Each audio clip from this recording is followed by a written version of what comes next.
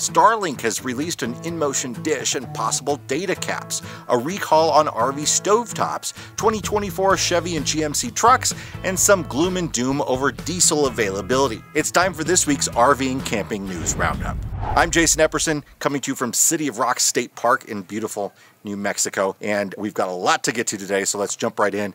Over the last couple of years, we've reported on several pending diesel shortages. They're all part of the same problem that's been slowly growing, but some, let's say exaggerated reporting, hasn't told the full story and has had people panicking. But then when diesel didn't run out, they were left under concerned for the future. The U.S. Energy Information Administration has reported that the current total supply of diesel in the USA is down to about 25 days worth, which is the lowest level since 2008. However, this does not mean that America will run out of diesel within 25 days, like some people and even some major media outlets have suggested. What it does mean is that if refineries stop producing diesel right now, we would only have a fuel supply for another 25 days. Of course, thankfully, there are no plans to halt production anytime soon. However, the small buffer is becoming a big problem. Suppliers have little wiggle room on shipments, which could lead to temporary outages at individual stations in the short term. The Colonial Pipeline has been fully booked in order to move fuel quickly in the southeast, where the biggest concern is right now, but that's going to take a couple weeks. The remedy for shortages is unfortunately higher prices. We are already seeing diesel prices go up again, where the national average for a gallon of gasoline has held firm at about $3.76 over the past month, diesel has jumped 42 cents to 5.30 a gallon. So why are we in this mess? Well, it started way back at the beginning of the pandemic. Several refineries went out of business during the huge drop in fuel demand over those first few months. Others artificially kept production low in order to keep prices high throughout much of COVID. There have been some emergency closures and there has been a reduction in refinery investment due in part to the nation's move towards electric vehicles. That's not a political statement, it's just a fact. The oil companies are not being forced to produce less fuel, and they have access to as much drilling and oil as ever, but they are less interested in the investment. Compounding the problem is the fact that the diesel shortage is worldwide, partially due to embargoes on Russia, which is actually causing an increase in fuel exports from the US. The government could impose restrictions on exports, but that would be disastrous for Europe. So, what's next? Market forces will do their thing and it may be even more painful. If the diesel supply cannot grow quickly, increasing prices will feed more into inflation. Diesel prices affect nearly every consumer good we buy. But the real concern is a natural disaster. Imagine if Hurricane Ian had hit the Gulf Coast refineries. We would have been in utter chaos right now. There's little we can do in the immediate future besides letting high prices reduce demand. Unfortunately, this looks to be an expensive winter for diesel vehicle owners, truckers, and for anyone who heats their home with distillate fuel. Next up, several updates on Starlink satellite internet. Starlink has finally launched their made-for-mobile dish that can attach to the roof of an RV flat and can be used in motion. It's the same monthly price as the current RV service, and it's a much better antenna with a wider view of the sky, so it doesn't need motors to move it around. There's a big catch though. It's over $2,500 to get the dish. You also have to have it installed by a dealer, and it uses more power than the standard dish. Call me underwhelmed. It also still is AC powered, which is an ideal for mobile use. Right now, your best option, if you can get it, is still the residential dish with portability enabled. It's prioritized above RV service, so in places it's still going to be better than this new high performance dish but there's a waiting list to get it. You can change your address as you travel, but you also might lose your spot in your home location if you aren't full timers like us. It also appears that Starlink has quietly introduced limits on how much data users can consume, likely an effort to reduce the amount of congestion it's currently experiencing. According to the new text in the terms of service, residential Starlink users will receive a monthly allocation of priority access with fast internet speeds but once they exceed the limit, speeds could be reduced. What that limit is, is anyone's guess. It sounds like data-hungry users will be put into the same deprioritized pool as the Starlink RV service users. Overall, Starlink is getting slower. Independent internet speed tester Ookla has found out that Starlink speeds have decreased in every country they surveyed over the past year as more users sign up for the service.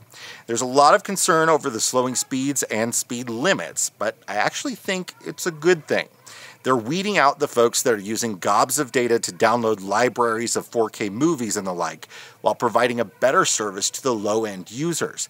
The deprioritized Starlink for RV service is supposed to have expected speeds of 5 megabits per second in the worst situations, which should still be enough to use the internet and even stream video in a reasonable fashion. For a time, we were seeing far worse speeds than that, less than 1 megabit per second, and we heard from many of you who are experiencing the same. But now service seems to be evening out a bit, and that's a good thing. It's virtually impossible to run a mobile internet company with truly unlimited speeds. General Motors has announced the new 2024 Chevy and GMC heavy duty trucks that will come out in the spring. That's right, Ford will be putting out 2023 trucks in January, and GM will be putting out 2024 trucks in the spring. Make it make sense. There are up to 14 available camera views for safer towing, which should be super helpful when you're hitching up, backing up, or just trying to navigate the road. There's some other smart trailering tech features like adaptive cruise control that you can use while you're towing, along with extended blind spot monitoring. The 6 6.6 liter V8 gas engine is unchanged, but it's been equipped now with a standard Allison 10 speed automatic transmission. GM's HD gassers will have an increased gross combined weight rating from 24,000 to 26,000 pounds.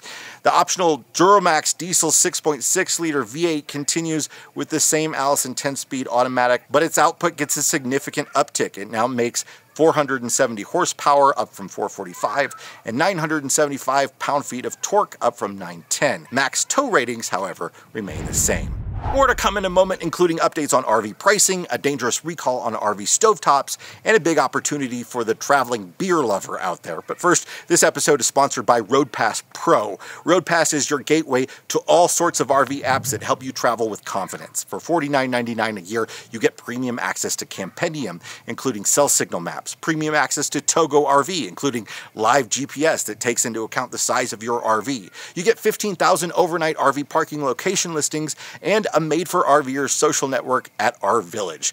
Discover all the great features at roadpass.com slash pro and get $10 off with the code RVMiles10X. We've been sharing with you the news that RV prices have been coming down a bit over the last several months, while RV manufacturers have been reducing output. In September, total RV shipments ended the month down 48.5% over September of 2021 though through September, RV shipments are only down 8.2% on the year. Most of that reduction is in towable RVs, as motorhome inventories are starting to normalize. Motorhomes were only about 10% of the industry, and shipments were actually up for motorhomes 21% over last September. The result is that RV dealer lots are starting to look normal again. People are definitely still buying them though, and if you see RV lots that are full of RVs, that is not a bad sign for the industry. That is how this industry has operated forever. People buy by shopping on the lot. And if the dealers don't have something on the lot for them to look at, they're not buying. But sales are definitely down and deals are there to be had, though prices seem to be going up again already. I don't understand. Black Book, which is an auction lane watcher, says that dealers are still willing to pay a premium on used units. The average sales price for motorhomes and towables sold at wholesale auctions rose last month. The average selling price for motorized units was up $5,000 between August and September. Towable RVs were only up about 700 bucks. Several RV brands including Jayco, Highland Ridge, Thor Motor Coach, and Starcraft are recalling 2021 and 2022 units because the flame on the stove may invert, which can light the igniter wiring on fire it seems to happen when the furnace is running or when there are other changes in the airflow, like having your outdoor kitchen open. The fix is sealing off air gaps surrounding and underneath the cooktop. We had this exact thing happen to us, and it turned out to be our outdoor kitchen being open when it happened. I think you can expect more brands to be added to this recall soon. So if your flame is doing some weird things, make sure to get it checked out. Thetford, the parent company of Norcold, who makes refrigerators for RVs, has decided to close down its two Ohio plants and move manufacturing overseas. The company says it's a move to help weather the current downturn in the RV industry and to deal with labor shortages. Finally, are you the Aleblazer that Harvest Host is looking for? The company is looking for someone to drink beer and camp out in a decked out RV while checking out some of the coolest microbrews across the country. Harvest Host recently exceeded 500 hosts within its growing brewery and distillery category, joining a network of over 7,000 Harvest Host locations across North America. As part of the position, Harvest Hosts will pay one dedicated RVer to travel across the country, visiting all 500 brewery and distillery hosts and sharing their experience, while plotting the ultimate beer lover's road trip. Harvest Hosts will provide the RV or an expense stipend for anyone with their own already, comped beverages, $50 a day for expenses, and a lifetime Harvest Host membership. No drinking and driving though, have a beer and stay the night. There's a link to apply in the description. That's it for this week's RV and camping news. Leave a comment with your thoughts on any of this week's stories. Hit that like button if you didn't notice that I accidentally shaved off too much of one of my eyebrows, and subscribe to get these in your feed each week. And we'll see you next time.